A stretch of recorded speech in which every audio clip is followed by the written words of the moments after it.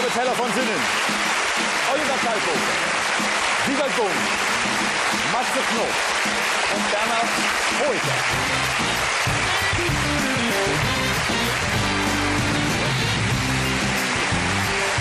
Wunderschönen guten Abend, meine Damen und Herren. Hier ist Genial daneben. Ich freue mich, dass Sie da sind. Und äh, wir werden versuchen, Sie in der nächsten Stunde so gut es geht zu unterhalten. Ich habe sehr schöne Fragen und äh, ich muss leider am Anfang der Sendung zwei Sachen sagen. Eine Dame, die heute extra aus Griechenland angereist ist, aus ihrem Urlaub. Heute am 6. Juni fliegt morgen wieder zurück. Und oben sitzt Stefan, wird heute 16 Jahre, hat heute Geburtstag und verbringt diesen Geburtstag bei uns im Studio. Herzlichen Glückwunsch.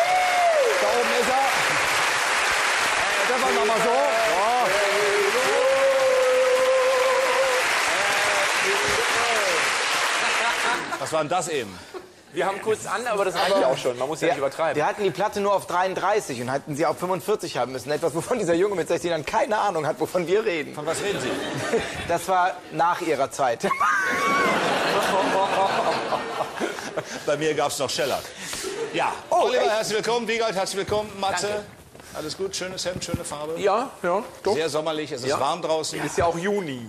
Richtig. So es ist warm. Juni, die Vögel zwitschern.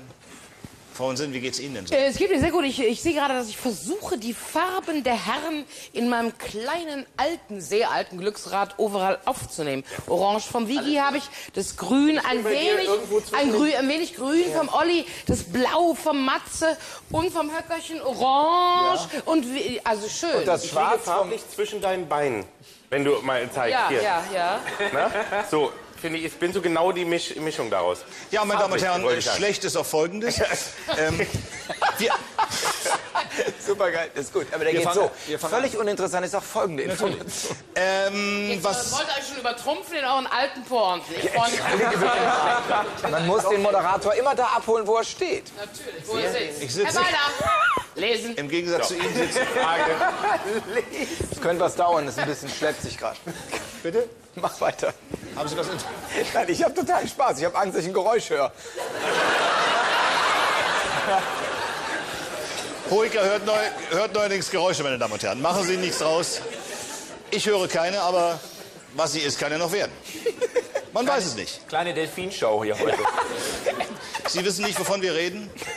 Aber Sie werden es hören. Wir auch nicht. Wir fangen vorne an. Es geht los. Bernd Engelin wohnt in St. Augustin, nicht weit von hier. Und Bernd Engelin möchte wissen, was ist ein sogenannter Nasspreis? Der Nasspreis. Nicht, nicht, also nicht der Saupreis. sondern- Na, der Nasspreis. Nasspreis. Das Gegenteil vom Trockenpreis. Also, Ja, der das ist Nasspreis von. Beton. Also der Beton wird angeliefert in einer Betonmischmaschine und hat ein anderes Gewicht als im ausgehärteten Zustand, beziehungsweise wenn er als Zementpuder in der Sackumhüllung sich befindet. Der Nasspreis liegt daher höher. Astronomisch. Ja. Der Nasspreis, Aber hat etwas, trocken kann man ja nichts mit an. der Nasspreis hat etwas mit dem Freibad zu tun. Eintrittspreis ist, wenn du schwimmen gehst, darfst dich aber nicht abtrocknen, billiger. Oder der Nasspreis könnte auch etwas mit, dem, mit der Autowäsche zu tun haben. Dass man zum Beispiel wirklich, es gibt ja eben, das Auto wird ja auch trocken gepustet, dass es eben, wenn es nicht trocken gepustet wird, sondern nur blank poliert, keimfrei gelutscht und so weiter, dass du dann einfach weniger zahlst. Eben nur 6,50 statt 8 Euro. Ich glaube ja, ich hätte sehr viele Nasspreise erhalten, wenn ich meine vielversprechende Karriere als Synchronschwimmerin weiterverfolgt Und zwar hätte. alleine. Ja. Ja, weil viel mehr passten auch nicht in das Becken, Eben. als ich meine Esther Williams gab. Ja. Ist der Haben Sie das mal gemacht? Waren Sie Ja, mal? ja, äh, Sie wissen das doch noch von meiner Geburtstagsshow. Da gab es doch diesen Ausschnitt, Richtig. wo ich mit diesem Polizeisportverein im. Synchronschwimmen und ich in der Mitte als sehr, sehr dicke Esther Williams. Und ich brauchte auch im Gegensatz zu den Mädchen Flossen, weil die Synchronschwimmerin an sich hat ja eine sehr ausgefuchste Technik, um sich über Wasser zu halten. Das konnte das dicke Ding nicht. Man gab mir Flossen und ich stand so im Becken. Und unten, vier Polizisten und haben sie festgehalten. Bleib hier, bleib hier. Hat, ist es vielleicht möglicherweise ein, ein, ein Preis, der beim Fernsehen verliehen wird? Der Deutsche Fernsehpreis an, äh, sagen wir mal, Reich Ranitzky hat ihn jetzt nicht angenommen, aber kann ja noch mal kommen. Und wenn der dann so frisst, dann wird der Preis irgendwann nass, dann ist es ein Nasspreis. stimmt. Ich bin beim Haare schneiden. Ja. Wo sind Sie? Beim Haare Ja, sehr gut, sehr gut. Wie kommst du darauf? Ja, legen. ich bin ein Freund von Fantasy. Wann waren Sie? Der braucht ein bisschen. Lass den Leuten die Zeit. Ich, Ja. nass, es gibt einfach Trockenschneiden und Nassschneiden. Und der Nasspreis ist das Schneiden von nassen Haaren. So nicht. Ja, aber so ähnlich. Aber so ähnlich. Das hat gar nichts mit dem Friseur zu tun. Bitte, Moment. Ach so, Das hat gar nichts mit dem Friseur zu tun. Da haben Sie jetzt auch wieder. so, sind wir vielleicht bei Heute Tieren? läuft's. Sind wir vielleicht bei, bei Tieren und bei dem Verkauf von Tieren? Fischen, auch ein schöner Plan. Der Fisch ist bestimmt mehr teurer. wert, wenn er noch im Wasser teurer, ja, ist. genau. Nein, aber ich dachte, die haben vielleicht so lustige Ausdrücke, wenn so ein, ein weibliches Tier... Nest. Ist der Fisch denn teurer, wenn man ihn im Wasser verkauft? Nein, also der, halt, Moment. Aber Äh, lebendiger. Äh, eingesalzene Fische in Portugal, also der Trockenfisch, der ist wahrscheinlich teurer als der Frischfisch. Also der, der Nasspreis ist geringer als der Trockenpreis in dem Fall. Warum jetzt? Weil der Fisch ja schon veredelt ist mit allerhand Zutaten, vor allen Dingen mit Salz. Und der Trockenpreis eines Kabeljaus liegt höher als der Nasspreis. Also weg vom Wasser. Ja, bitte? Jetzt, jetzt weiß ich, es ist doch so, wenn man zum Beispiel unter Wasser ist, kommen einem doch Gegenstände größer vor. Das heißt, so ein Fisch unter Wasser ist teurer, weil er einem größer vorkommt. Wenn du ihn rausholst, wird aus dem Hai nur noch so ein kleiner Stichling und dann musst du wiederum den Trockenpreis berechnen. Ich würde die Fische mal einfach mal. Äh, Ja, ähm, Abtropfgewicht. Weiterverfolgen? Weg. Dann ist es halt ein Preis, den Ulrike Nasse Maifahrt gestiftet hat? Nein. Gibt es denn auch sowas wie den Trockenpreis, den Feuchtpreis und den Nasspreis und den, also gibt es das als den Schnupperpreis? Nein. Den gibt auch Nur den nur Nass. den Dann hat es was es mit gibt Obst nur zu den tun. Nasspreis. Obst, Abtropfgewicht. Man spricht doch von Abtropfgewicht. Ist das beim, war das nicht beim Obst? Ja, ich meine Ja, doch, ne? ja, ja, genau. Und wenn man da, wenn es nicht abgetropft ist, wenn es halt einfach noch in der Plörre schwimmt, dann ist es halt eben einfach der Nasspreis. Dosen, Erbsen Ist der oder so, Nass- das ja auch ist steht der Sind wir was. also im weitesten Sinne bei Lebensmitteln? Ja. Wollen wir da bleiben? Ja. Das wäre nicht, nicht gut. wäre Sinn das? macht. Also, Für wäre nicht gut. Für wen? Wäre nicht euch. gut. Ah, dann Ich bin in der das. Ölmalerei. glaube- Wenn man ein, ein Ö frisch gemaltes Ölbild vom Schlachter kauft, nein, das ist auch falsch. Wenn man also ein ganz frisches Ölbild erwirbt, dann ist das ja noch feucht. Feucht. Und kann nicht so gut transportiert werden. Finde ich gut. So, weil das ja noch, äh, weil das ja noch verwischen kann, wenn man es jetzt auf die Hutablage im Auto Natürlich. legt. Ist das Ist der ein Frachtpreis für Züge oder für, für also ein Transportpreis für Flugzeuge oder Züge? Äh, je nachdem, was man für Waren transportieren Gutes muss. Wort, gutes Wort eben gefallen. Fl- Von, vom Heli? Von mir? Von der dicken Tante? Oder von, je, von, mir? Flüge? Also Flüge? Flugzeug. Flugzeug. Flugzeug ist das richtige Wort, was gefallen ist. Für diese Frage, alter Mann. Ist der Nasspreis. ist, äh, Also, es sind ja vielleicht wenn man bei Regen fliegt. Sind das, Ist das so? Geht es um den Urlaubsreisen oder geht es um den Kauf eines Flugzeuges? Das müssen wir natürlich ich glaube, es geht um. Äh, Ryanair hat doch jetzt äh, Geldeinwurfschlitze für Toiletten gemacht. Und der Nasspreis ist, wenn man sich das spart. Und dann zahlt man den Preis, dass man nass ist. Oder kann es sein, die die Maschine, die ist Maschine ist so alt, dass es reinregnet und deswegen zahlt man den Nasspreis. Ich hätte sonst auch noch, das weiß ich, aber das ist ja äh, Secondhand, hätte ich noch irgendwie gehabt, dass wenn man irgendwie eine Textilie kauft, die vollgeschwitzt ist, die, die muss man den Nasspreis, aber gut. sind beim- nee, aber Flugzeug. Ist der Nasspreis einfach die, äh, die Lande- oder Startgebühr, die Flugzeuge oder Fluggesellschaften zahlen müssen und die steigt bei Regen, weil der äh, Flughafen mehr Aufwand treiben muss? Weil die Startbahn nass ist. Zum Beispiel. Vielleicht ist aber auch Weil der Pilot ins Das Schwitzen kommt. Kerosin, das Gewicht ist größer durch das Kerosin und das nennt man denn, aus welchen Gründen auch immer, den Nasspreis. Wie bitte, was war das denn für ein Räuspergeräusch? Ich hab, Haben Sie Bronchitis? Ja, der hat sich die Stimme etwas hat nichts mit der Tankfüllung des Flugzeugs zu tun. Weil Sie nämlich bei Kerosin auf Ihre Zettelchen Es hat was damit zu tun. So, es hat also was mit der Füllung des Tanks zu tun. Ja, pass auf, wir sind Ah, ganz. Nasspreis, Nasspreis. Ah, äh, geht's einfach dumm darum, ob man noch ein Flug, weil das ist ja teuer. Ob man mit also oder ein ohne Flug, Kerosin. So, wenn man verkauft, Fluggesellschaften verkaufen lustig Flug, Flugzeuge untereinander und wenn da noch eine Tankfüllung drin ist, ist das halt teurer. das Ja, Sie haben für den? Flug ge gekauft, aber Ja. äh, leider ist nicht getankt. Schade. Stimmt alles nicht so. Stimmt alles nicht so. Flugzeug, also, So, aber was es hier geht alles um schon ein- stimmt, ist Flugzeug, Tankfüllung, Ich glaube, es geht um ein ganz neues Flugzeug, den Einkauf eines Neuflugzeuges. Da gibt es den Trockenpreis, das ist der Rohbau ohne Innereien. Und den Was Nass... sind denn Innereien? Ja, so Sitze. Sitze, Stühle, der ganze Krimskrams. Steuer. hier genau, Sitze. ja, aber geht es vielleicht Ist auch schlecht, wenn der Pilot steht. Das ist Geht es vielleicht wirklich ganz schnell darum, ob man ein Flugzeug äh, äh, frisch vom ist gerade gebaut worden oder ein Flugzeug, was eben schon mit Tankfüllungen mal nach Griechenland, Aachen und Paris geflogen ist? Ich werde es euch sagen. Secondhand. Ja, okay. Es geht um Privatflugzeuge. Wer ein Privatflugzeug chartert oder Flugstunden nimmt, zahlt immer eine Pauschale, die Öl und Benzin mit einschließt. Weil Öl und Benzin nasse Stoffe sind, nennt man diesen Komplettpreis in der Fliegersprache nass. Preis. Ihr wart nah dran, gebe ich ehrlich zu. Wenn ich euch noch hätte zwei, drei Wochen machen lassen, hätte Aber so nicht. Bernd Engelin, 500 Euro für Sie. Gratulation. Sehr gut.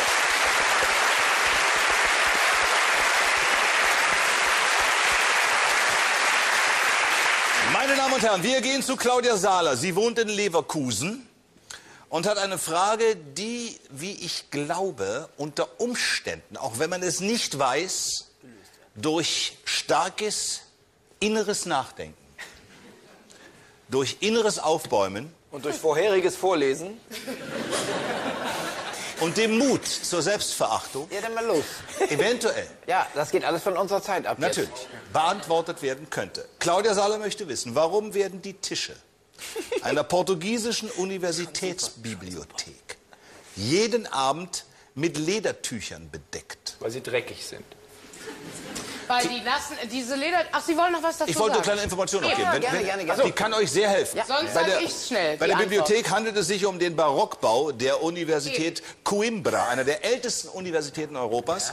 Die historischen Räume beherbergen 300.000 kostbare Bücher und Drucke. Diese Schätze darf man nur mit Sondergenehmigung studieren. Und jeden Abend werden diese Lesetische mit Ledertüchern bedeckt. Ich Warum? glaube, dass diese Ledertücher feucht sind und darüber den Staub anziehen, damit die Bücher besser geschont sind. Wie Leder. Falsch. Kann es sein, dass es eine, ich sag mal, eine Open-Air-Bibliothek ist und diese Tücher sollen quasi die Tische vor Regen schützen? Eine Open-Air-Bibliothek. Ich meine, das hatten wir ja jetzt noch schon Ja, das ist einfach so was. in Köln im Stadtarchiv. Du glaubst doch nicht, dass die alte Bücher schützen wollen in Freiluftbibliotheken. Portugal. Portugal ist ja warm, in Portugiesien ist ja auch warm. Ich ne? glaube, das ist geschlossen. Haben Sie aber gerade ich könnte mir Portugiesien gesagt, Herr vorstellen, Walter? Ich habe es genau gehört. was ist denn, wenn da, wenn da Tiere in dieser Bibliothek leben? Das, wenn das schon ein sehr altes Gebäude ist, ich tippe mal auf Fledermäuse. Ja, Fledermäuse. Elefanten. Genau. Was machen die Fledermäuse? Fledermäuse kacken, auf die Tische Elefanten auch. und das auch Elefantendung unter Umständen Die wird. Es geht um Fledermäuse in die, an diesem Ort. Was machen die Fledermäuse? Die fliegen da rum. Die orientieren sich mit Ultraschall. Die kacken auf die Tische. Die Kacken auf die Tische. ist die richtige Antwort, ja. ja.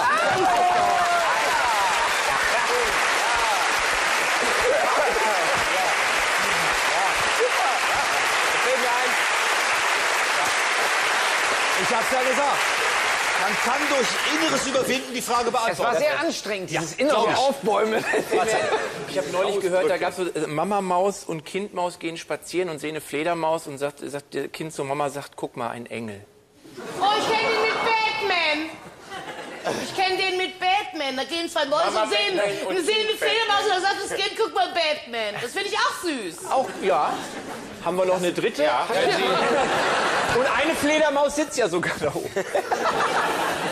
Wenn Sie vielleicht so lange ins Kino möchten. Also ich sag's mal, in diesem historischen Ge- Gemäuer nisten tatsächlich Fledermäuse, die nachts in diesen Räumen rumfliegen. Um die wertvollen alten, äh, alten Tische vor Fledermauskot zu schützen, werden die Tische an abends mit Ledertüchern bedeckt. Jetzt fragt man sich natürlich, warum entfernen sie nicht die Fledermäuse? Aus einem ganz einfachen Grunde. Die Fledermäuse selbst sind in dieser Bibliothek sehr willkommen. Sie, fre sie fressen Bücherwürmer und bewahren damit die Bücher vor irre irreparablen Schäden. Deswegen bleiben die da drin, aber sie müssen die Tische halt abdecken. Richtige Antwort, Claudia, es tut mir wahnsinnig leid. Diese Intelligenzbestien haben es Aber geschafft. warum das jetzt Lederlappen sein müssen, wissen wir nicht. Es sind, es sind Lederlappen. Das ist es sind halt. Lederlappen. Es könnten auch, Könnt auch Lederlappen sein. und wegnehmen wahrscheinlich. Meine Damen und Herren, wenn Sie auch zufällig eine Frage zu Hause rumliegen haben, wissen nicht wohin damit oder auch mehrere, können Sie uns die schicken. Wir sind sehr dankbar. Genial daneben 50 616 Köln oder Sie rufen an 01378 11 20 oder einfach eine E-Mail fragen at genialdaneben.de. Sie können ja 500 Euro, ist ja nicht das Schlechteste. Zum Beispiel äh, Marc Lutzke könnte jetzt auch 500 Euro bekommen. Bar auf die Hand, er ist nämlich heute Abend hier bei uns. Marc, wo finden wir Sie denn hier im Wald? Hinter Ihnen, Herr Beider. hinter mir. Marc, herzlich willkommen, schön, dass Sie da sind. Ich stelle jetzt Ihre Frage und drücke Ihnen alle Daumen, die ich habe. Marc möchte wissen, was ist der sogenannte Hamster-Test? Der Hamstertest, Ja. wie stark man äh, die Backen aufblähen kann. Zum Beispiel bei Trompetern. Dizzy Gillespie, bekannter Jazz-Trompeter, der also extrem weit seine Backen aufblasen kann. Und vielleicht Aufnahmeprüfung für Trompete am Konservatorium heutzutage ist also nicht nur Virtuosität vom Blattspielen und so weiter, sondern auch der Backentest. Also wären wir in der Musik. Auf jeden Fall. Ist das richtig? Nein. Stimmt. Ich bin auf dem Rummel. Ich bin auf dem Rummel, weil der Rummel an sich hat ja gerne Riesenräder und auch so Gerätschaften, die sich drehen. Und beim Hamster assoziieren wir ja leider, dass diese armen kleinen Biester in Käfigen zumindest äh, äh, rennen und rennen und rennen. Vielleicht ist das also ein, der Begriff vom TÜV. Wenn der TÜV auf einem Rummel Gerätschaften Laufrad gelaufen ist, der TÜV-Beauftragte. äh, testet, äh, wie, wie viel Umdrehungen oder wie oft oder wie ob Verschleißerscheinungen. Hatte jemand von euch mal einen Hamster? Ich hatte Meerschweinchen, das war auch tragisch. Drei Wasserschildkröte Stück. hatte ich mal. Eine Wasserschildkröte. Ja. Wir hatten Was ganz Drei drei. Stück. Der eine ist vom Balkon gesprungen, der Ja. zweite ist wohl hinterm. Schrank. Hat, ja, der, ja, weil der, das ging am schnellsten. Der zweite hat sich hinterm Schrank versteckt. Wir haben ihn dann Jahre später wiedergefunden. Also den, Als Rosine verkleidet? ja, genau. Und wenn er die Hamster gefüttert hat, hat er immer so gemacht. Okay.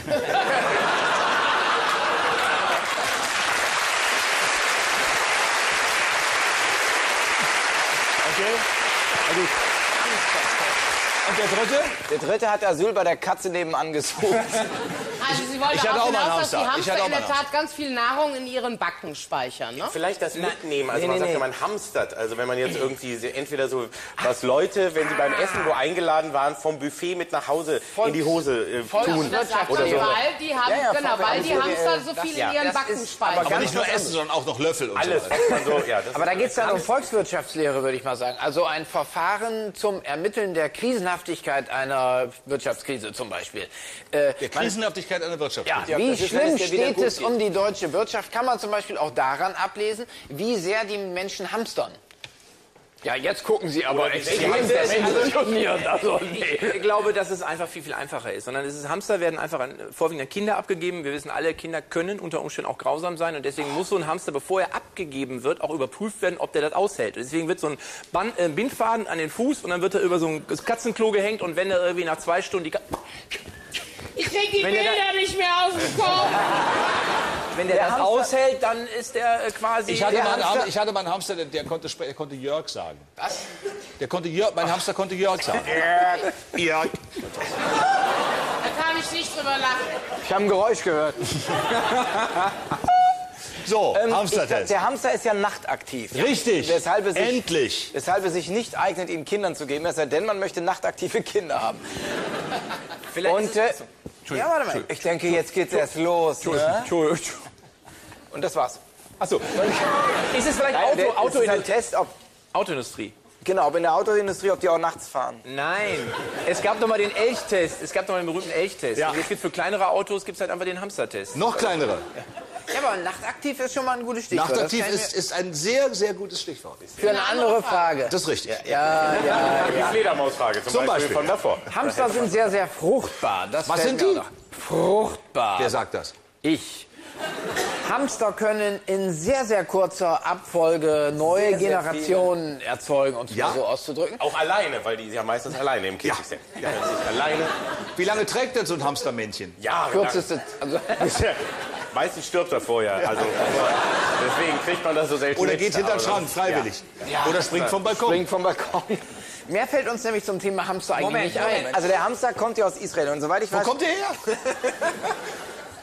Der Hamster kommt aus Israel? Ja, aber mit dem Bus. ich meine, ja, ganz kurz. Hab ich das man das, Schalömchen.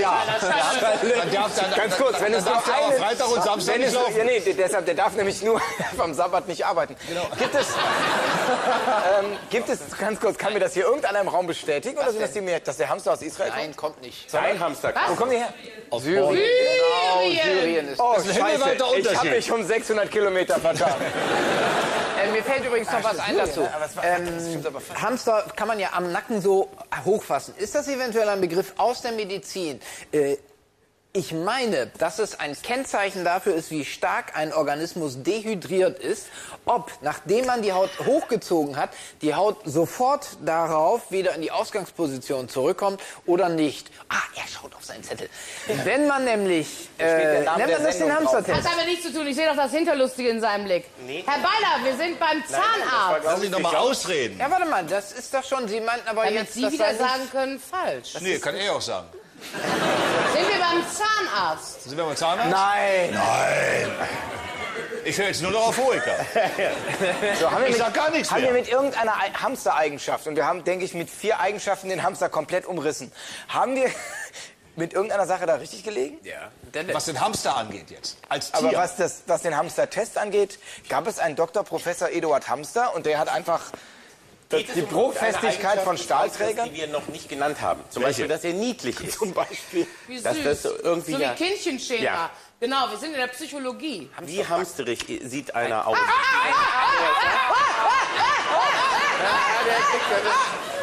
Bei Psychologie hat er mm gemacht. Stellen Sie sich mal vor, jetzt haben gerade in dem Moment Zuschauer eingeschaltet. Ja, dann haben die gedacht, ich komme. Was haben die gedacht? Dann haben die gedacht, ich komme. Hat meine eine Zigarette jemand?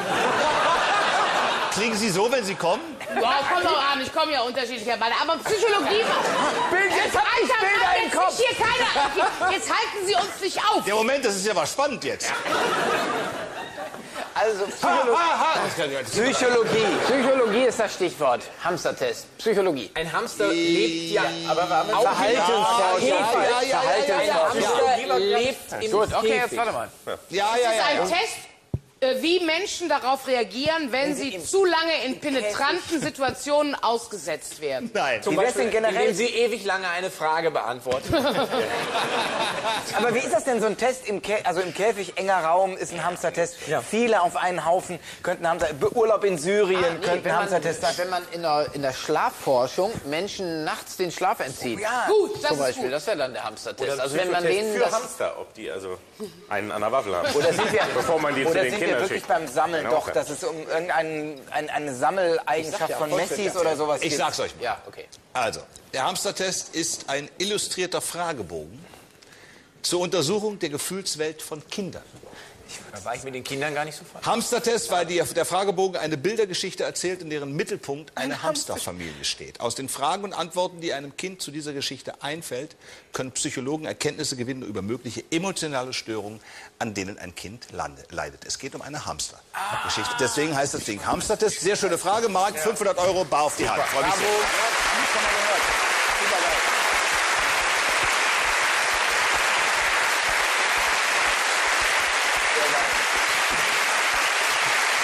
Ich meine,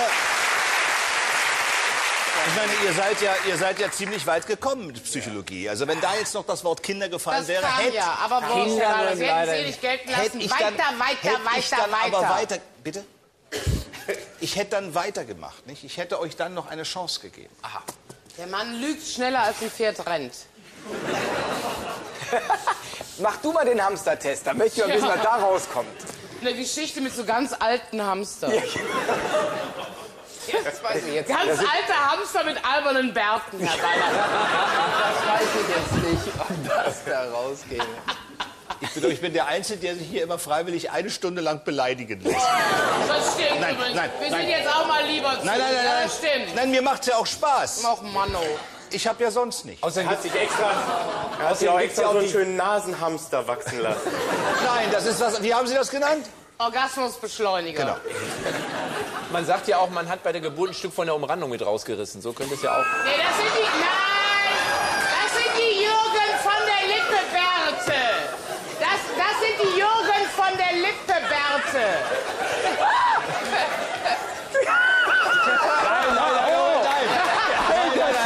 Moment, Moment, Moment. Bei, bei ihm ist das nicht ein Stück, bei ihm ist das die komplette Umrandung. So, ich mach mal weiter, bevor es ausartet, meine Damen und Herren. Ein. Ich mach mal weiter. Ich mach mal weiter. Wir gehen zu Dagmar Presser. Sie wohnt in Unterschleißheim und Dagmar Presser mö- möchte wissen, was ist ein Schulterhorn? Ein, ein, das letzte Wort nicht Ein Schulterhorn.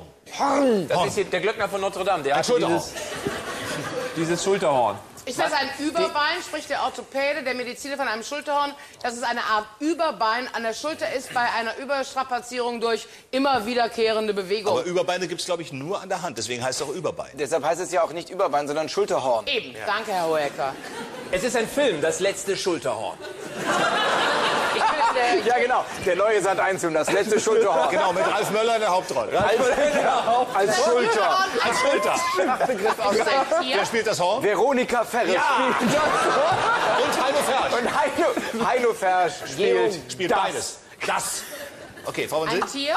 Bitte was? Ist das Schulterhorn ein Tier? Welches Tier? Ah, aus der Familie der Eichhörnchen. Die schultern sich immer gegenseitig bei langen Wegen, die sie so zurücklegen. Herr Ich glaube, Hochbonig es hat einen sich schönen beim Ansatz. Schulterhorn Ja, also Eichhorn, realistisch. Nashorn, Schulterhorn. So. Gibt ja alles. in Dann die- Geografie. Ein Pickel, ganz kurz, ein Pickel, der ist aber so groß wie eine Schulter, der wächst hier oben. Ach, So, jetzt Herr, Herr Knob, das ist aber nicht Ihr Ernst. Also ich mache Natürlich nicht. Darf, darf der Herr Boning ganz kurz bitte? Kopf. Äh, Herr Boning. Musikinstrument, Gebirgsformation. Jetzt könnt ihr weitermachen. Sehr, sehr gut, dann hat ein Schulterhorn. Das ist ein Horn, ein, ein? Blasinstrument. Instrument, so ein Susaphonartiges, halbseitig über Was den die- Oberkörper was der Spieler- gewickelt. genau. Das, das geschultert wird. Ich finde aber, Ja. dass die Gebirgsformation gut kommt. Warst du schon auf dem Schulterhorn? Nee, da liegt noch Schulter, Schnee. Das, also die Schulter eines Berges. Ja.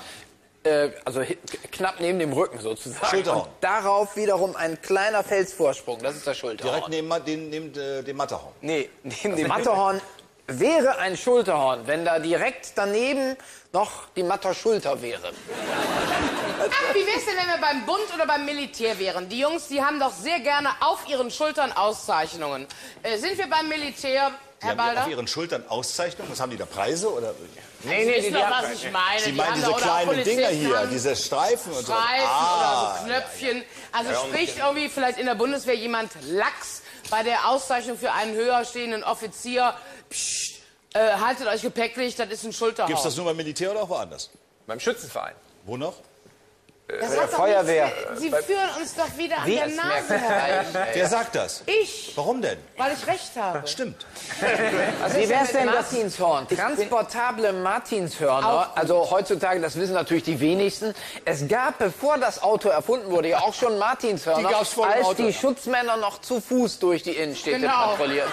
Und die trugen Schulterhörner, wenn sich am Samstagvormittag auf der breiten Straße mal wieder dieser Fußgängerstau Das entwickelt wird hatte. auch bald wieder so sein, wenn das so weitergeht mit Ja. der Autoindustrie. Und dann haben die also die alle Tatütata gerufen. Ganz genau, die haben Tatütata gerufen und das hieß übrigens lustigerweise überhaupt nicht Schulterhorn, weil es auf der Schulter befestigt war, sondern weil Martin Schulter dieses Gerät erfunden hat. Ist der nicht Martin, ist der nicht Martin Luther und hat er nicht was anderes Herr Balder, das nicht, muss also doch... wir glaube, sind wir trotzdem sind- in der Medizin, aber nicht bei Knochen, sondern bei Hornhaut und sprich der Hautarzt von Schulterhorn, dass Menschen, die viel Rucksäcke schleppen oder so, hier so eine übermäßige Ausbildung von Hornhaut haben. Da spricht der Hautarzt von Schulterhorn, Also sind wir in der Medizin. Ja. Na, das ist doch schon mal schön. weil es falsch ist. Richtig. Danke. Das Schulterhorn. Es ist ein altes, traditionelles Transportmittel, mit dem man größere Säcke oder größere Bündel Heu, Stroh oder sonstiges auf der Schulter transportieren konnte. Und es ist hornförmig nach oben gebogen, damit eben selbiges nicht herunterfällt. Von, wo, wo, wo kommt das her? Wer, Syrien. wo war das? Syrien. Bayern, Syrien. Oberbayern. Sowas kommt immer aus Syrien. Afrika, nee, sowas könnte auch aus Afrika kommen, dass man so, dass da, weil da, haben, da werden ja auch Sachen auf den Kopf getragen, dass man da Problem vielleicht... ist, sobald er sich dafür interessiert, Darf ich ist, dann da nichts dran. ist es völlig ich irrelevant, noch was man gesagt hat. Komma, Maßeinheit an diesen... Ah, genau. Würde ich dann noch ansetzen, Maßeinheit. Also fünf Schulterhörner ist zum Beispiel ein Liter Bier. Was? Fünf Schulterhörner ist ein Liter Bier. Vielleicht sind es auch drei. Ich weiß das jetzt nicht en Detail. Die Wikinger haben ja aus so Hörnern getrunken, auch Genau. wenn man sagt. Und das war vielleicht so eins, was man so zum Mitnehmen sich so, anhaken konnte, wenn man genau. zum Plündern Was die- ging. wenn die- dann so- konnte so man sich die- so ein Methorn, wie man das jetzt auch hat. Wie die Trucker ne? heute die Cola neben Ja. den Spiegel machen, hatten so die Fernfahrer, Wikinger, hatten Ja. so ein Horn an der Wenn die Seite. zum Starbucks gingen, haben die sich halt so ein Schulterhorn, Espresso äh, oder Latte Macchiato, hier so an die Schulter gehängt. Oder ist es mit im der Schiff. etwas aus dem äh, Jagdbereich, dass also wenn man beispielsweise ein Hirsch mit einem Horn, mit einem Geweih, dass da vielleicht eine besondere Form des Geweihs eben das sogenannte Schulterhorn äh, Im weitesten Sinne Tierwelt. Richtig. Nein. Es ist ein Elementarteilchen oder vielmehr ein äh, halb-U-förmig gebogenes Kohlenwasserstoffmolekül. Nee, nee, nee, das, das ist, das ist zu Moment, Moment, Moment. Was ist los? Ja, ich habe jetzt überlegt, U-förmig wäre zu viel. Das würde einem, äh, einem Schulterhorn halt nicht entsprechen. Aber habe ich gesagt, einem halb-U-förmig. Was ist Ein denn ein halbes U? Ein J. Ein J-förmiges. Also, ein Schulterhorn ist ein J-förmiges... Kohlenwasserstoffmolekül. Kohlenwasserstoff. Oder ein kleines L. Es ist, jetzt weiß ich es, es Bitte. kommt von den Olympischen Spielen. Es Ja. ist ein Schulterwurf im Judo oder im Ringen. Es ist eine besondere Figur, die möglicherweise auch im Eiskunstlauf Katharina Witt, wenn sie irgendwie von ihrer Trainerin Jutta Müller irgendwie äh, links und rechts und über die Schulter, das war scheiße, ist irgendwas aus dem sportlichen Bereich, würde Ja. ich sagen, ist das Schulterhorn. Und das ist richtig. Nein. Und äh, Waffen hatten Sie auch gänzlich abgelehnt Hatte schon. ich, äh, hatten wir die schon? Waffen? Oh, ja, Waffen. Hat jemand... Naja. Ich glaube, das Schulterhorn ist ein altes ägyptisches Machtsymbol, was der Pharao auf einer Schulter trug, weil er im Gegensatz zur Welt, die in gleicher Einheit mit sich selber steht, symbolisieren sollte, dass er auf einer Seite mehr Macht besitzt als auf der anderen Seite. Es war insbesondere so Lösen, lösen! Können wir lösen? Bitte lesen Sie die Lösung vor! Ich habe noch nicht mal Syrien gesagt. Ich hab, Okay, ich zeig's, ich zeig's euch. Herr Rüttger, kommen Sie mal nach vorne. wenn du jetzt den Spockgriff machst und ich krieg die Hälfte nicht mehr mit hier. So, lassen Sie mal hier stehen. Ja? Serbe bringt jetzt mal das Schulterhorn. Oh, Es hat was mit Fitness zu Ja, tun. Sport, hatte ich doch gesagt. warum soll ich das jetzt machen? Ja, wo kommt das jetzt rein, ne? Äh, nee, anders. Moment, die war... So, Ja, ja, das ist... Nein, das war schon richtig. Das war richtig, glaube ich. Nein, das war schon Ich werde gleich aufs Rad gebunden, Ah, alles das muss keine ich- oh, Angst. jetzt ich- Geflochten werde ich gleich so, so, komm. So. so, jetzt nehmen Sie mal Ihre Hände. So, und jetzt hier ein Gewicht dran. Oh, ist das schwer. Hier ein Gewicht dran. Ich weiß nicht, ob das so stimmt. Ja, ja, das doch, weil ich jetzt nämlich meine Schulter nicht belaste. Ja, sondern nur die Unterarme. Genau. Es, es geht nur um die Unterarme. man sieht mich nicht, ich möchte gerne ein Bild zeigen.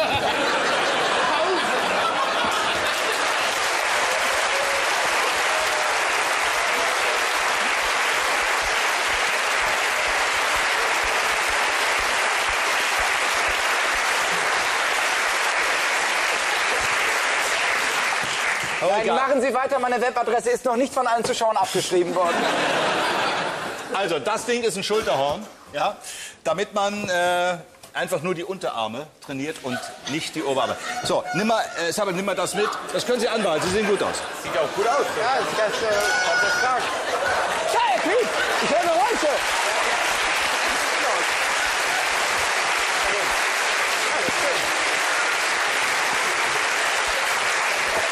Ich glaube, ich glaube, das ist, also, also das ist irgendwie, ich glaube, das ist falsch rum. Nein, das ist Ist mit so einem Also Ding es fühlt sich auf jeden Fall total erotisch an. Mit so einem Ding ist Michael Jackson damals aus dem Stadion geflogen, oder? War das Also ich glaube, ich weiß nicht, kommen Sie, kommen Sie mal her, ich weiß nicht, ob das nicht, muss das nicht noch irgendwie anders sein? Nein, das ist da doch ist, gut. ach so, da muss das rein, vielleicht muss das so. so rum rein. Ja, so. Ah, stimmt. Damit es nee, nee, Warten Sie dann, nee. dann geht's mir wie meinem Hamster. Das ist richtig. Ist auch falsch. Also das muss, dann ist es vielleicht doch so. Herr Hoyer Nein, das ist doch eben beim Training genau das richtige Gefühl, genau. dass er die Schulter nicht Ja, belastet. dann lassen wir es mal so. Es sieht auch scheiße genug aus. So, auf jeden Fall in, äh, in diesem Falle Dagmar Presshaus unter Schleißheim 500 Euro für Sie. Gratulation. Sehr gut. Möchten Sie so bleiben jetzt oder soll ich Sie befreien? Ich weiß es nicht, ich komme hier nicht mehr raus aus der Nummer. Ich, ich habe mich verlaufen. Sie können es ja, Sie können's auch abnehmen, wenn Sie möchten. Ich möchte Sie jetzt nicht zwingen. Nee, nee, Vielleicht beruhigt kann es nicht. Ja. Lass doch mal weitermachen. ja, mal sehen, wie lange das aushält. Ja, macht ihr mal weiter, ich komme hier raus von alleine. Gut, wir machen weiter. Melinda McLeod, McLeod, McLeod, Mc, L-E-O-D, wie spricht sich das? McLeod. McLeod. McLeod. Nee, McLeod. McLeod. McLeod. Meine Damen und Herren, erleben Sie jetzt live, ein Mensch befreit sich. Der große Odin. Der große Honig.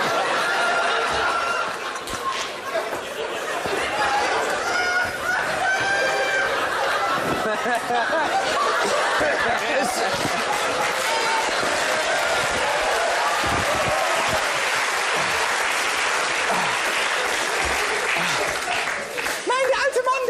ich will da wieder hin. So, wir kommen nehmen das mal wieder ab. Übrigens, das Geräusch war eben da. Sie haben es Ich hab's gehört. So, wir machen einfach mal weiter. Danke dir. Wir machen einfach mal weiter. Wir gehen jetzt mal nach äh, Schwarzenholz. Das liegt im Saarland. Melinda Mac, Mac, McLeod, Mac, also Melinda. Melinda wird wissen, wie sie heißt. Und Melinda möchte wissen, was ist eine sogenannte Bodenverletzung? Herr Röcker, könnten Sie an sich besten beobachten? Bodenverletzung. Bodenverletzung. Wenn beim Fußball jemand in den Rasen tritt, dann äh, ist die Grasnarbe beschädigt, dann wäre das quasi eine Bodenverletzung. Der Fuß wäre egal in dem Fall. Wenn, der äh, wäre egal. wenn jemand ins Gras beißt. Auch quasi. Das ist eine doppelte Auch der Bodenverletzung. Boden selber. Ja. Eine Bodenverletzung ist wahrscheinlich ein Grenzübertritt. Also ich sag mal, früher im Wilden Westen, als noch die Grundstücke äh, frei zu verteilen waren und jemand hat irgendwie abgesteckt mit rot-weißem Flatterband, ich weiß nicht, ob es das damals schon gab, und dann ist jemand mit dem Fuß quasi, hat also das, dann war das eine Bodenverletzung, die mit einem Pfeil im Oder wir Kopf sind bestraft prinzipiell bei Agrarwissenschaften, wenn ein bestimmter Boden falsch äh, besä bearbeitet, besät worden ist. Also ein Boden, der eigentlich nur für Kartoffel oder Viehzucht und dann plötzlich baut jemand Mais an Oder Palmen. und dann ist dieser Boden für Jahre lang Verletzt. Verletzt. Auch emotional. Emotional. Oh, Wir innerlich. sind auch nicht beim Beckenboden. Dach, da, Entschuldigung, Dachboden wäre gut. sonst eingefallen. Ah, äh, äh, Versicherungsschaden. Versicherungsschaden natürlich Dachboden, zum Beispiel wenn äh, die Wasserleitung, die unterm Dachfürst verläuft, jetzt gar keine Wasserleitung. Macht doch mal nichts, wenn dort eine verlaufen würde und das Rohr platzte im Winter, dann würde es zum Beispiel zu einer Bodenverletzung kommen. Wer hat seine Wasserleitung im Dachboden? Ist, Das ist jetzt so der, ein Beispiel. ist die Bodenverletzung eine Schnittwunde auf dem Bodensee? Sind wir bei Sport und Freizeit? Moment, Moment, langsam. Aber. See ist gut. See ist aber gut. Wenn, wenn Möchten Sie den, den, äh, das Horn wieder? Nein, nein, das. Nein, aber, aber, aber aber See finde ich gut. Das See kann doch, wenn, wenn zum Beispiel, wenn man da, un, äh, also ich sag mal, Fahrräder versenkt oder alte Ölsachen so, dann wird quasi der Boden des Sees quasi äh, verletzt. Den nennt man aber Grund. Grundbodenverletzung, sagt Nein, man auch. Grund. Grundlose. Nein, Grund. Ich darf noch mal in den Bereich Sport und Freizeit mit euch marschieren. Gerne. Voller Freude und Lebenslust. Ja, Es Jetzt gibt aber doch los. so lustige Hobbys, wo unbescholtene Bürger am Wochenende sich als Ritter, Indianer oder weiß der Teufel was verkleiden und machen hochnotalberne, nein, wunderbare, wunderbare Spiele Ritterspiele. zum Beispiel. Und vielleicht sprechen die von einer Bodenverletzung, wenn dann so zwei vermeintlich verfeindete Sippen Also wären wir praktisch im Mittelalter. Würde das ja auf Mittel, aufs Mittelalter zurückgehen. Ja, genau, genau, genau. Das ist insofern, äh, nein. Aber, Aber ich lieb, finde dass du mir doch noch ein Stichwort gab. Ja, natürlich. Ich finde Sport total gut. Bodenturm. Sie finden Sport gut? Auch privat. Ich habe ja eine Menge Erfahrung, auch gerade was äh, Schulterhörner angeht. Und vielleicht ich sehe mal so was bei Karate oder, oder Boxen oder bei, beim Ringen. Ähm, eine, eine, eine, eine, eine Regelverletzung, was äh, Bodenbetretungshaftungsansprüche Ja, wo jetzt? angeht. Bei, bei welchem Sport? Beim Äh, Ringen. beim Ringen. Wenn man zum Beispiel bei einer anderen Sportart. Bei welcher? Bei gar keiner. Beim Turnen. Ja, bei gar keiner. Ich wusste. Ich bin noch mal bei So einfach. Also, So der, einfach. bei der Beckenboden. Der wird ja bei, im Verlauf einer Geburt einer besonderen Belastungsprobe unterzogen. Und kommt es zu einer Ruptur, wie der Mediziner sagt, dann ist das eine Bodenverletzung. Sind Sie, Medi mal? sind Sie Medizinerin zufällig? Nee, Wir haben hier nee, komische also Geräusche. nicht richtig. Ja, stimmt, sie kommt schon wieder. kommt schon wieder her. UA, UA, ich komme. Natürlich, der Bäcker, der Konditor, der muss doch Böden machen, um Torten zu backen. Tortenböden. Ja. Was ist die also- Bodenverletzung? ja, Wenn ganz da einfach. Eine Pfirsichhälfte reingeschnitten hat und der Boden zerbricht oder Schwarzwälder Kirsche ist die Kuchenbruch. Kirsche beim... So, beim Essen. Ja. Im weitesten Sinn. Auf jeden Fall. Wir Nein? sind äh, Wo sind wir denn? Beim Kochen. Bei wem? Beim Kochen. Dann sind wir doch auch im weitesten Sinne bei Essen Sie Nase. Nicht, wenn ich koche.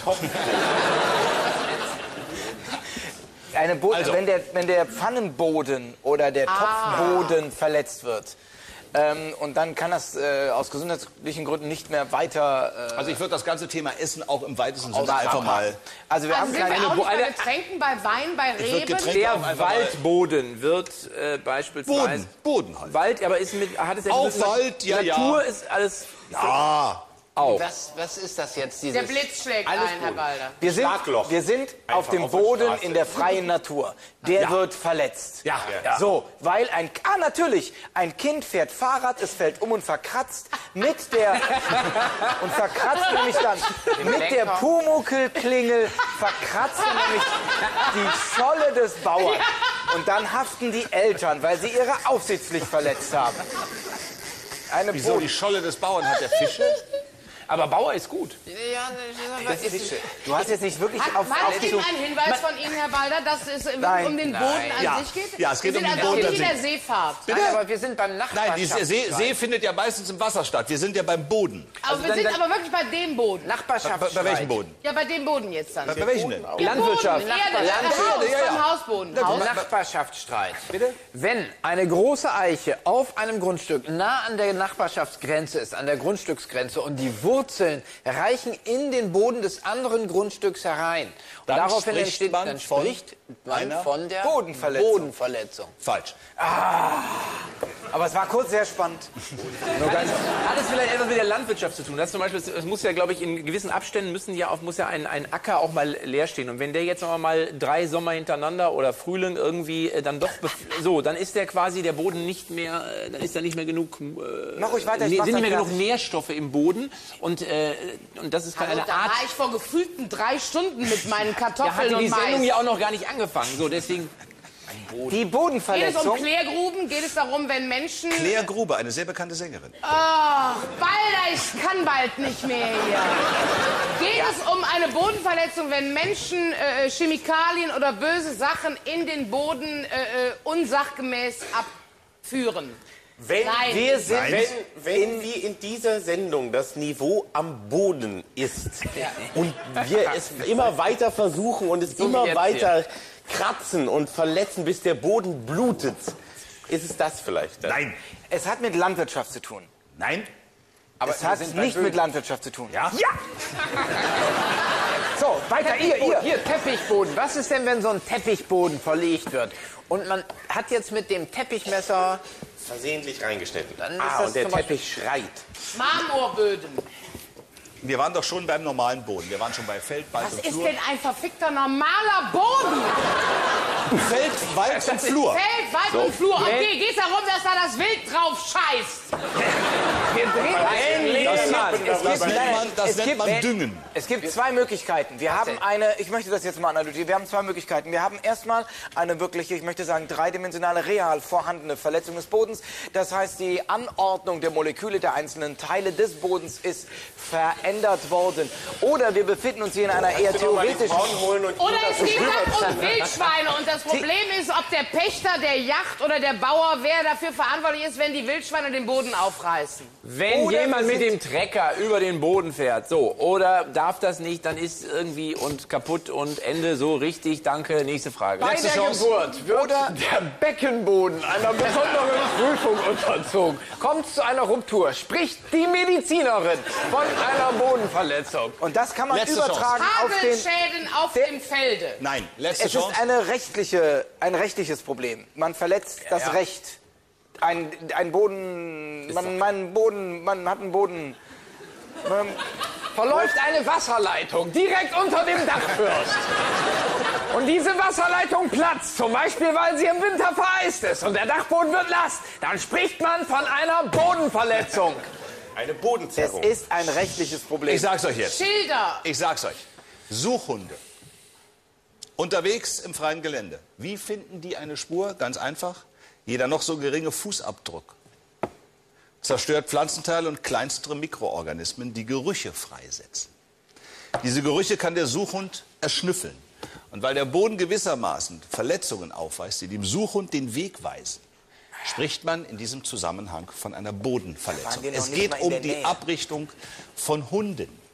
Das war Ihr wart ganz nah schwer, dran. Das viel zu Nein, schwer. das hätte man das wissen müssen. wir ja gar nicht. Ach, das, ist muss man wissen. Melinda mit macht das Nachnamen, wie immer sie Spaß. heißen, aus Schwarzenholz. 500 Euro für Sie. Gratulation. So.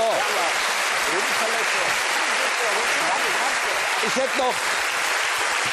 Ich hätte noch so schöne Fragen, die machen wir dann nächstes Mal. Die Zeit ist leider um. Wir haben keine einzige gelöst. Ehrlich nicht? Wir- Können wir nicht noch eine Eine haben machen? wir gehabt. Wir machen einfach noch eine oder zwei und du schneidest die schlechten raus. Nein, stell doch einfach eine Frage, die du schon hattest. Die können wir dann lösen. Du Ja, und wir tun doch mal so, als wenn wir die nicht nicht lösen. Sonst stehen wir so blöd Habt ihr überhaupt da. nichts heute? Nein. Doch, die Fledermäuse, die, Die Fledermäuse. Stimmt, ja, Gott In. Portugiesien. Ja. So Scheißfragen können wir immer. Denken Sie drüber nach, meine Damen und Herren. Ich habe Portugiesien gesagt. Wie heißt es wirklich? Wenn Sie es wissen, Portugalien. dann schreiben Sie an...